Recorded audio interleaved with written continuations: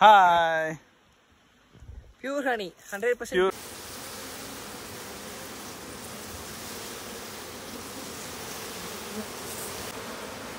video double ஃபுல்லாக மாற்றிக்கோ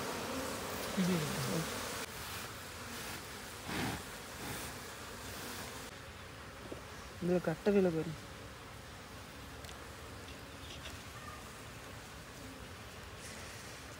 இந்த 그래.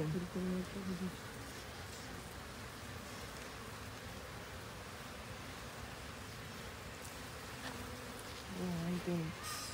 그럼 싫어. 이게? 이래.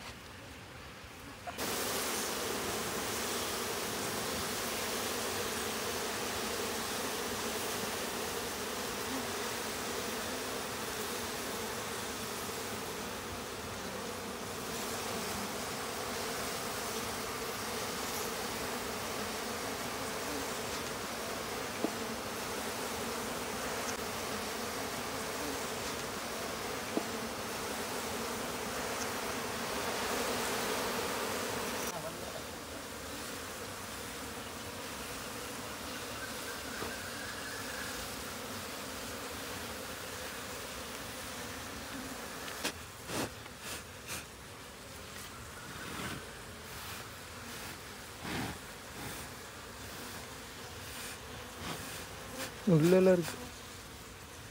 இங்கே இப்போ இந்த தென்னை மாட்டு இருந்தாங்கன்னா பிரச்சனையே இல்லைங்கண்ணா. இடிச்சு ஈஸியாக புகை போட்டுக்கலாம்.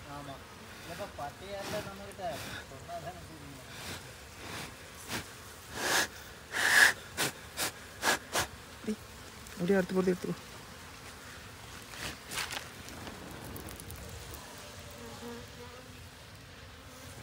தூரமாக வைடு அப்படியே ஷார்ட்ஸாக கன்வெர்ட் பண்ணிக்கிற மாதிரி.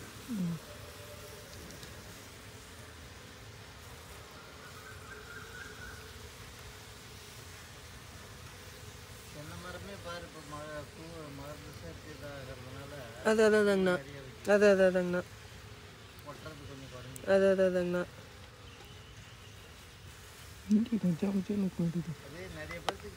தெரியுது. இல்லைங்க. அண்ணா இப்போ ஒன்றுமே இல்லைங்கண்ணா. ஒன்றுமே இல்லைங்கண்ணா. நம்ம நான் இது சென்னாக்கண்ணி பெட்டி வச்சுருக்கேங்கண்ணா. நம்ம பெரியமோட்டு தோட்டத்தில். நம்ம சொந்த பெட்டிங்கண்ணா அது வந்து பார்த்தீங்கன்னா இதுக்காக வச்சுருக்கேங்கண்ணா. டெவலப் பண்ணுறதுக்கு ஒரு பதினஞ்சு ஏக்கரை தள்ளிங்கண்ணா மாந்தோப்பு இருக்குது ஃபுல்லாக மருந்துடிச்சுட்டாங்கங்ண்ணா இருபது பெட்டி ஃபுல்லாக செத்து போச்சுங்கண்ணா இருபது பெட்டி ஃபுல்லாக செத்து போச்சு. அதே அதான் அதாங்கண்ணா. அதான் அதாங்கண்ணா அதான் இருக்கு ஃபுல்லாக இருக்குதுங்கண்ணா புகை ஒரே வழி அந்த மிளகா காட்டு போகிறது அது ஆமாங்கண்ணா நானும் பார்த்துட்டேன். சரி சரிங்கண்ணா எல்லாமே ஒரு வழியாக குறைச்சிட்டாங்க ஓகே ஓகேங்கண்ணா பார்க்குற பொருளை வண்டியிலே வச்சுக்கிறது. அதான் அதாங்கண்ணா அப்போ ஸ்டார்டிங் டைம்லேயே போட்டு ஆமாங்கண்ணா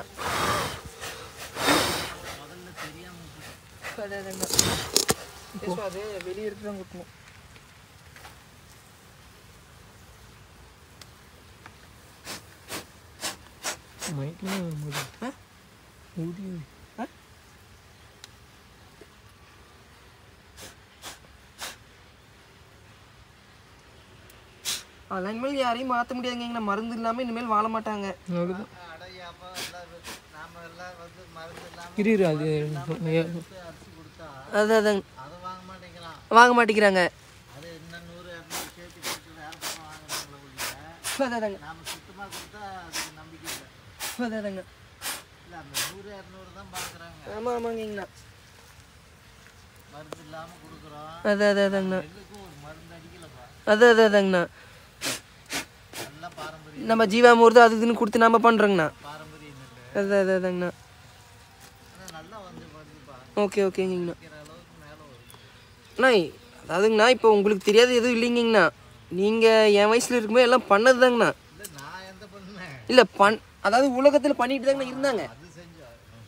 நம்ம வந்து பண்ணினாலும் அதை வந்து பண்ணிட்டு இருந்தவங்க தாங்கண்ணா அது கொஞ்சம் அனுபவம் இருந்தது அஹ் மருந்து அடிக்காம பண்ணாம பண்ணிட்டு இருந்த உலகம் தாங்கண்ணா இடையில தாங்கண்ணா எல்லாம் இப்படி பார்த்தோம் அதான் அதான் அதான், அதாங்கண்ணா. அப்போ அப்போல்லாம் நெல் நடுவாங்க. இதெல்லாம் நெல்லங்காடாக இருந்துச்சு அது அது அதுங்கண்ணா எல்லாம் எடுத்து நெல் எல்லாம் தலையை போட்டு எல்லாம் போட்டால் எல்லாம் அவ்வளோ அதுவே வரும் நெல் எல்லாம் மருந்து தாங்கண்ணா ஃபுல்லாக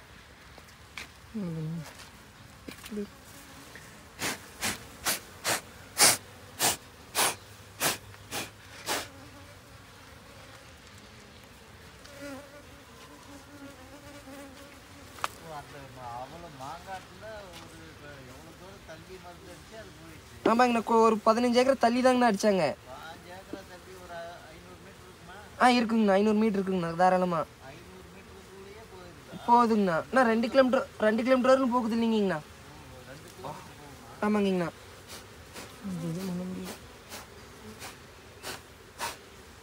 பூச்சிடும் வெளியே வந்துருச்சு. இப்போ ரெண்டு கிலோமீட்டர் வரைக்கும் போகுது இல்லைங்கண்ணா அப்போ வந்து அந்த மாங்காட்டில் பூ எடுத்துருச்சிங்கண்ணா. என்ன பண்ணுறாங்க பூ கொட்டாமல் இருக்கிறதுக்கு மருந்து அடிக்கிறாங்கண்ணா ஃபுல்லாக என்ன பண்ணிருச்சுன்னா அந்த பூ வாசத்துக்கெல்லாம் போயிடுச்சுங்கண்ணா வெளியே வந்து பண்ணிடுச்சு எடுத்து உள்ள போயிடலாம் எல்லாம் போகணுன்னு கம்ப்ளீட்டாக செத்து போச்சுங்கண்ணா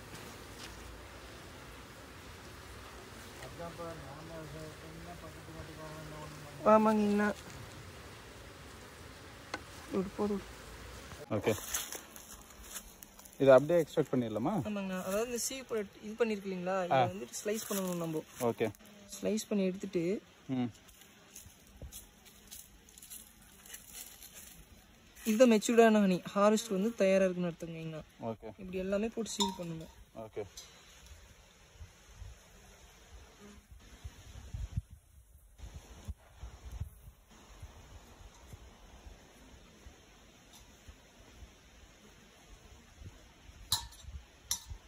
ஒரு அந்த தேங்காய் நார் இருந்ததுல்ல அந்த ம், அது கொஞ்சம் பற்ற வைக்கிறது இல்லை தேவையில்லைங்கண்ணா வேணாம்ப்பா அப்புறம் இல்லை இல்லை. அந்த பக்கம் போனால் இதாகும் நமக்கு லைட்டாக அந்த பக்கம் போனால் ரொம்ப ஆக்ரோஷமாக இருக்கும். ஈ இது எப்பவுமே கொஞ்சம் சாஃப்டாக தான் இருக்கும்.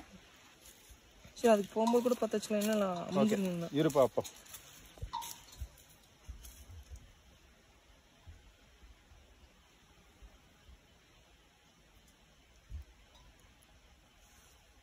சின்ன கத்தி வேணுங்கண்ணா சின்ன கத்தி வேணுமா கத்தி எதனா வச்சிருக்கியா? சின்னது.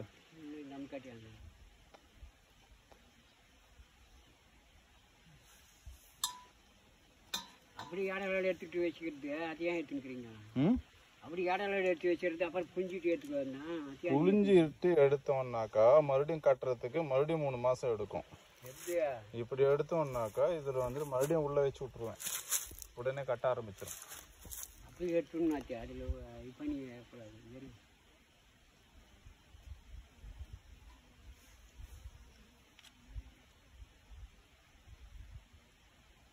ஃபாரின்ல என்ன பண்றாங்கன்னா நீங்க வச்சிருக்க கத்தி ஹீட் ஏதோ ஹீட் பண்றாங்க. அப்படியே இருக்கிறாங்க இந்த மெழுகெல்லாம் உருகி வந்துருங்க ஈஸியா நம்ம இப்படி பண்ணும்போது கொஞ்சம் டேமேஜ் ஆகுது இல்லைங்களா? அதெல்லாம் அப்படி ஆகாதுங்கண்ணா அதே மாதிரி இந்த டை அடிக்கிறாங்களா அந்த பிரஷ் மாதிரி ஒன்று இருக்கு இல்லைங்களா? அப்படியே ஒரு இதுல வச்சிருக்காங்கண்ணா பின் மாதிரி இருக்கிறத வச்சிருக்காங்க ஆ. அப்படியே போட்டு இப்படி சுரண்டுறாங்கண்ணா இது மட்டும் அப்படியே மெழுகு மட்டும் தனியா வந்துருது. ஓகே. அந்த எக்யூப்மெண்ட்ஸ் எங்க கிடைக்குதுன்னு பாரு. ஆன்லைன்ல பார்க்குறீங்கண்ணா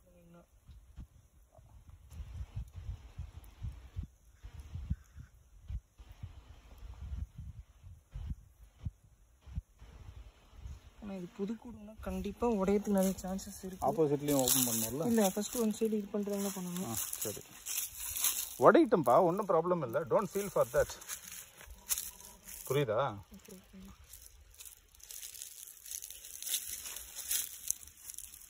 அதுக்கெல்லாம் ஃபீல் பண்ணோம்னாக்கா நம்மளால எதுவுமே பண்ண முடியாது. நான் உங்களுக்கு சொல்கிறேன் இல்லைங்க தெரியுங்கன்னா நான் வந்து எடுக்கிறனால தெரியுது. உங்களுக்கு சொல்கிறேன் ஓகே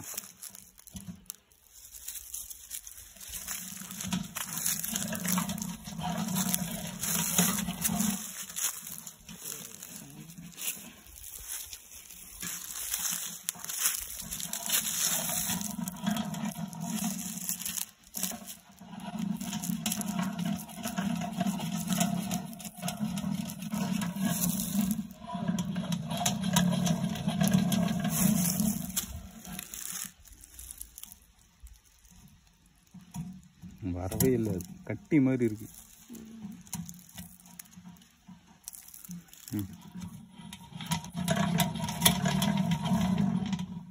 போய் ஒட்டிக்குதுங்கண்ணா நின்றுச்சுன்னா ம். ஓரளவுக்கு வந்துருங்க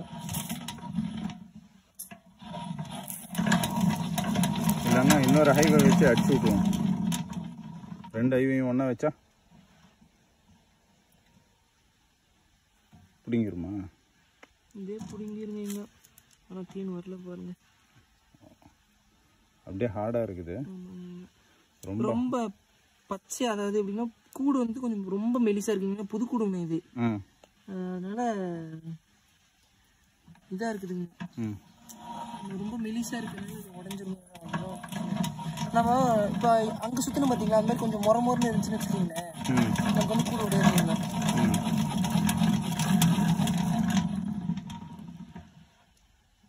மறுபடியும் போய் ஒட்டிக்குது அது.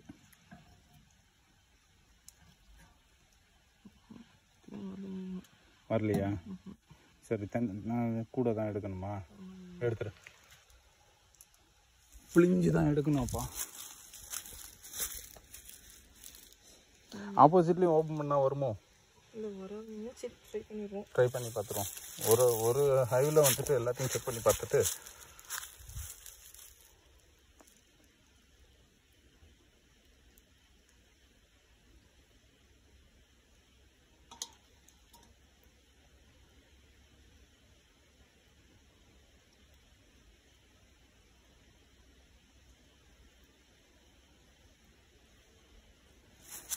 தேனோட டென்சிட்டி அதிகமாக இருக்குதுன்றதுனாலயா?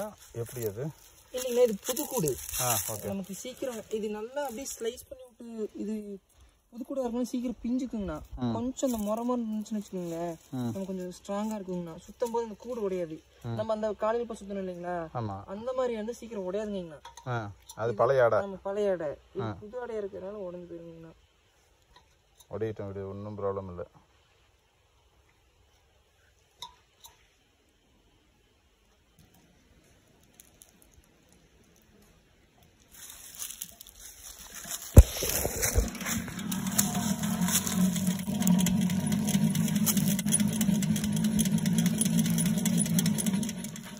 ஆம்பூர்ல.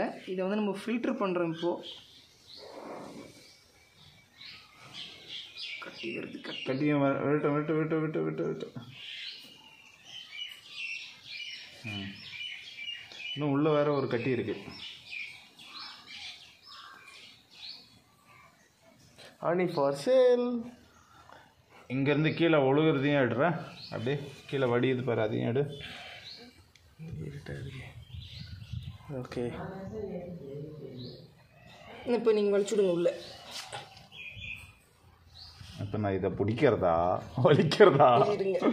Welcome to fresh to home இப்போ தான் வந்துட்டு நான் வந்துட்டு ஃபஸ்ட் டைமாக வந்துட்டு ஃப்ரெஷ்ஷாக வந்துட்டு தீன் அப்படின்றத வந்துட்டு டேஸ்ட் பண்ணி பார்த்துருக்கேன்.